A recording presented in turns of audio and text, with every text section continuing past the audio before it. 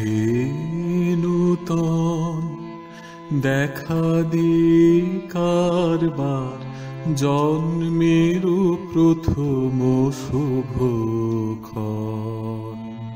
রবীন্দ্রনাথকে আর পাঁচজনের মতনই আমার আহ, আশৈশব মনে হতো একজন দার্শনিক শিল্পী একজন প্রেমিক।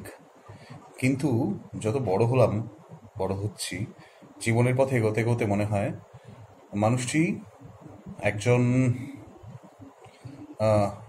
সন্ন্যাসী কিন্তু র্যাডিক্যাল সন্ন্যাসী। তার চিন্তাভাবনা বিপজ্জনক। এবং বিপজ্জনক বলেই আমরা তাকে পুজো আচ্ছায় ভরিয়ে রেখেছি।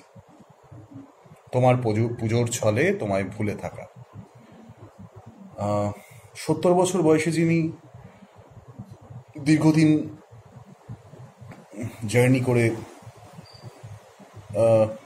বিদেশ পাড়ি দেন, শুধুমাত্র শান্তিনিকেতন প্রকল্পকে বাস্তবায়িত করবেন বলে।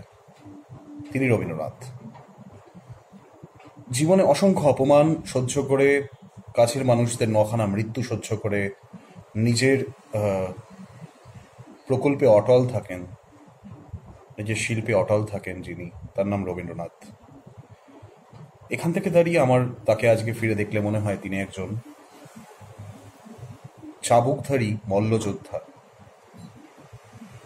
যে কঠিন ব্রত তিনি জীবনের কাছে রেখেছিলেন, তা সাধারণের নয়, তা অসাধারণ শিল্পীরও নয়, তারও বিয়ন্ড